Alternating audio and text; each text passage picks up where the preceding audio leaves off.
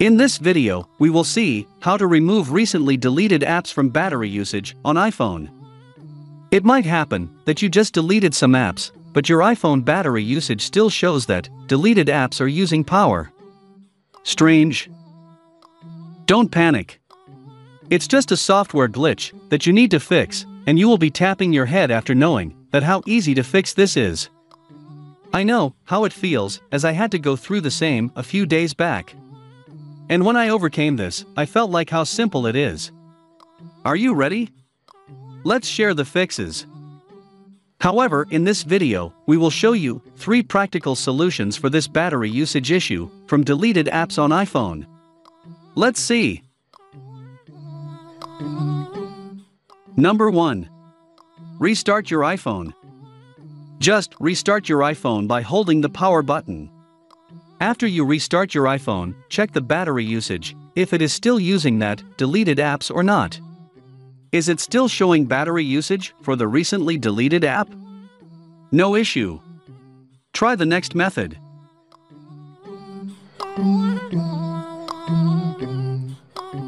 Number 2.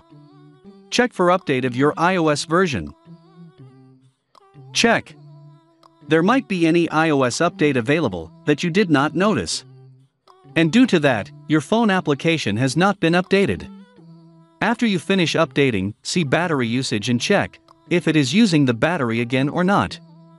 If you can still see battery using the recently deleted app, then it's nothing to worry. Now, try to test the next symptom. Finally, method number 3. Clear junk files or viruses from your iPhone. Well, the major part. Make sure your device does not contain any virus that might be blocking the apps from running smooth. You can also use CCleaner to clean junk files and keep your iOS protected. Sometimes any junk files or virus in a device can cause such battery usage issues with the deleted apps. So make sure your device is not in an attack of any viruses. Wait a minute. Do you know how to see recently deleted apps? You can see the list of recently deleted apps in two ways. Let's see number 1. Check deleted apps using App Store. Open App Store on your iPhone. Select the profile bubble icon. You can find it on the top right side of the screen. Now select the purchased option. After that, you get a view of the app that you downloaded. But tap on Not on this phone option. And you can see the apps that you just deleted recently.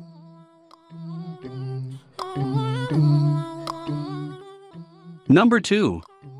Check recently deleted apps from battery usage. For this, go to Settings. Select Battery. Now wait a few seconds to let it load. Scroll down to the last and you will see an option for recently deleted apps.